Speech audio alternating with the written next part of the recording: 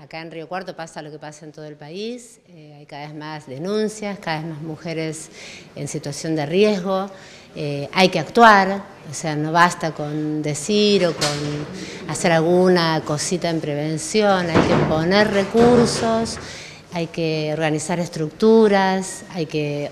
eh, reglamentar, hay que realizar ordenanzas municipales que dentro de lo que es el ámbito municipal y de las, de, las cosas que la municipalidad sí puede hacer, haga todas. Bueno, es tomar una posición, ¿no? es decir, estamos trabajando en favor de la vida y,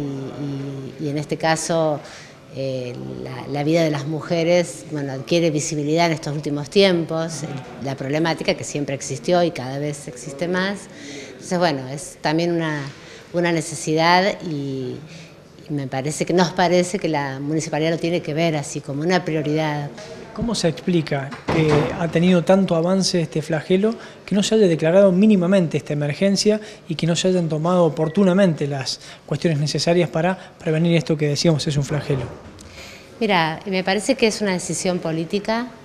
eh, que a veces las decisiones políticas están más bien orientadas hacia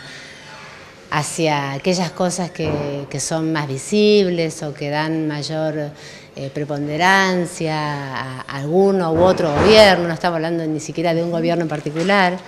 eh, y que las cuestiones más de fondo, que son estructurales y que además son emergentes y son como esto, ¿no? urgentes, eh, quedan en un segundo plano, no se ven. De hecho, todavía hay casos de femicidios que no están contemplados como femicidios.